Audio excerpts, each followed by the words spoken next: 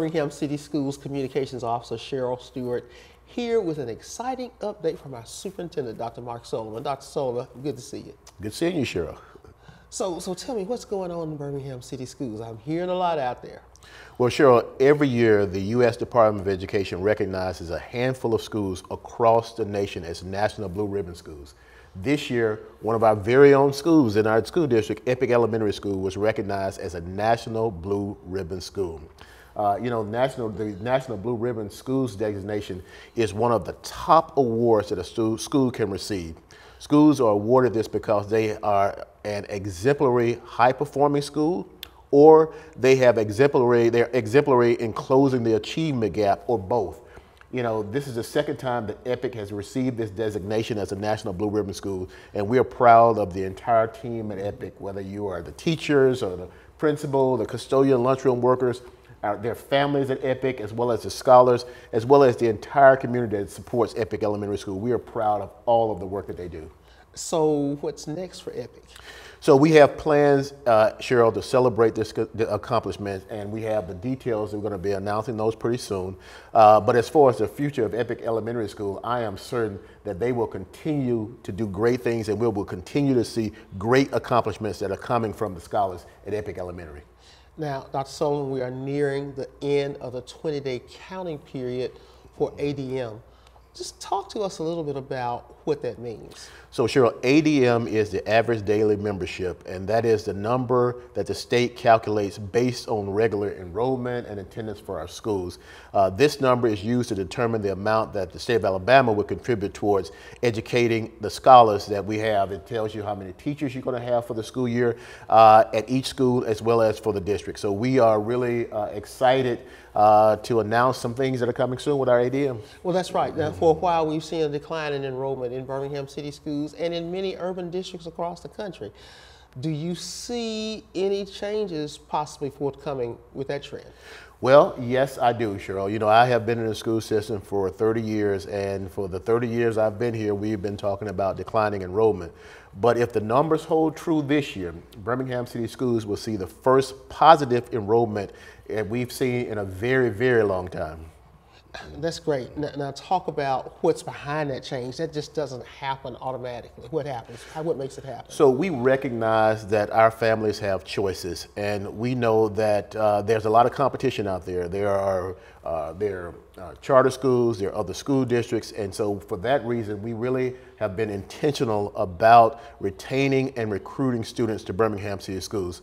As you know, we've been telling our own story, and we have a lot of people who know the benefits of a BCS education because success truly does start here in Birmingham City Schools. We've also invested in customer service initiatives.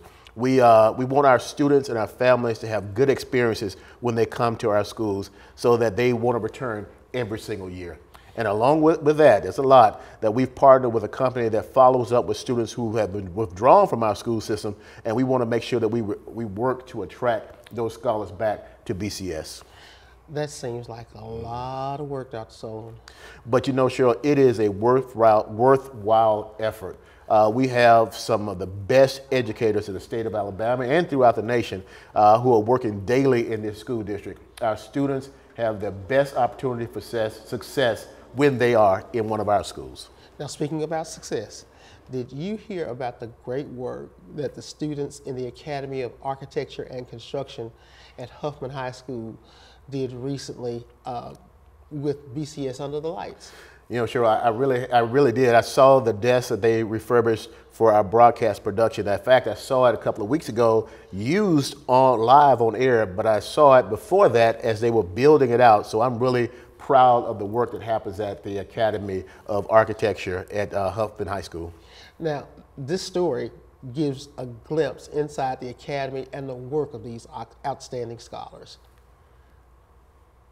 From Birmingham to the world, this is BCS Under the Lights. If you've been watching season three of BCS Under the Lights, you may have noticed a few upgrades with our broadcast set. We've gone from talent sitting on stools to now sitting behind a refurbished news desk. Do you all think the set looks good? Absolutely. Absolutely. Absolutely. ESPN-ish. I, we're top notch. You know, everything is better here. The tabletop of the desk actually sat on another much larger and heavier desk. CBS 42 News upgraded their news broadcast set years ago and donated the desk to Birmingham City Schools. Huffman High School's Academy of Architectural and Construction instructor tasked his students with refurbishing the desk as a class project. First of all, we try and find out what the need is, uh, how it best serves the uh, commentators. We decided to add a couple legs for stability. Um, there were some empty cavities here. We had some materials left over from another project. Oven Bardelez's role was to paint the bottom of the disc. He told me to start on the bottom part. So I start painting all the bottom part and then he told me to, to paint the top part. It just took me like like one hour to paint it. it. It wasn't too much. It's a fun project. The students really have to adapt.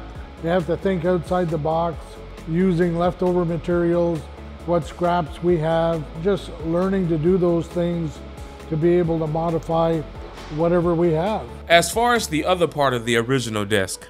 So we are going to build a separate top that's going to be mounted directly and fastened to this desk. It has lights, uh, small LEDs, so we're going to leave that there. This is what the finished product looks like. This particular desk will now be used in the BCS Media Studios at Phillips Academy.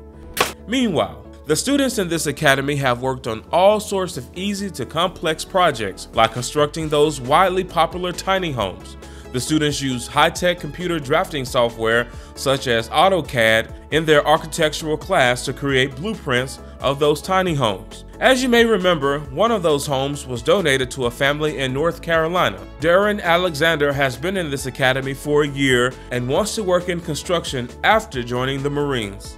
Like instead of paying somebody extreme amount of money to build a house, you can potentially lower that cost knowing how to do this stuff and building your own self. He wants to flip homes in the future. It's amazing to see something that's old and abandoned and you can, you know, use your skills in, in order to make that into something beautiful. What's even more incredible, these students are offered internships and externships with companies such as Brasfield and Gorrie while in high school. They can graduate from Huffman and get construction related jobs that are paying high salaries. I'm Fred Davenport, BCS Media.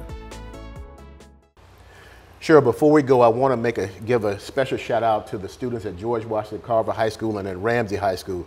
Many of these scholars will be voting for the first time this year. They registered and they participated in a voter education workshop on October the 1st and October the 3rd. You know, uh, this uh, was done in partnership with the Birmingham chapter of the Links Incorporated, with the NAACP of Metro Birmingham, Black Voters Matter, uh, the Foot Soldiers, as well as with the SGA and the National Society of Black Engineering Students at each of those high schools. You know, we teach our students uh, every day about the electoral process, but it's important that our students and everyone exercises that right to vote. You know, election day is on November the 5th, 2024. So we want to make sure that all of our students who are eligible to vote, anybody who is listening who is eligible to vote, go out on the vote on November the 5th. Thank you so much, Dr. Sullivan, for this update. Look forward to hearing from you in the future. Birmingham City Schools, success starts here.